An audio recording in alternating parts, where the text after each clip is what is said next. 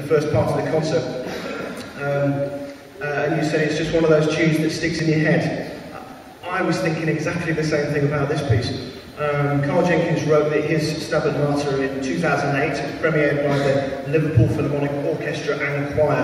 And the, the lament, this movement we were about to hear, uh, was an instant success with uh, audiences. I, I guess purely for its um, beautiful simplicity of the, of the melody. It, it, it's, it's, it's really beautiful stuff, and I hope you like it as much as I do. This is the Lament by Carl Jenkins.